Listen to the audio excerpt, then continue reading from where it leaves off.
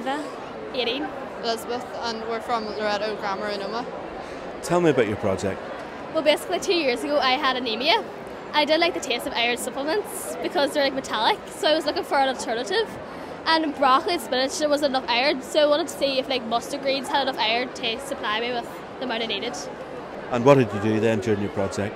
We um, used a controlled sample and then three other samples of iron, well, the mustard greens, and we um, contaminated with them with the um, controlled sample of iron. So And, and what else did you do then? We just we sent it away to Queens to find out how much iron was actually in it because we couldn't do it ourselves. We didn't have the equipment, and we discovered that they actually did have a lot of iron. And how would you introduce this then into the food chain for people? We would ex- um, expect the um, the consumer to, to grow the iron, the, the mustard, and then water them with the iron sulfate that's in the water.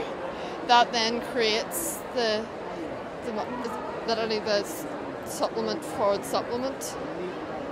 Do you think then it has commercial um, applications? Yes, because it's much cheaper than iron supplements and it's tastier. And like you can put them like in stews for like children who won't like the taste of them. So yeah, it's just. Yeah. Tell me this then, I'll just ask all three of you, how important do you think it is to study STEM subjects at school?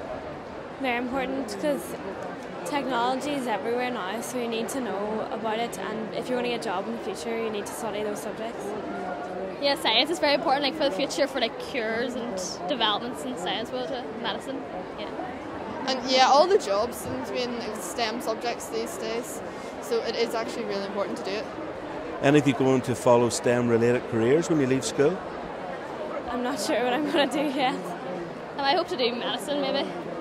I would either do medicine or pharmacy, so yeah, I would. Okay, thank you very much, girls. That's great. Thank you. Thank you. Thank you.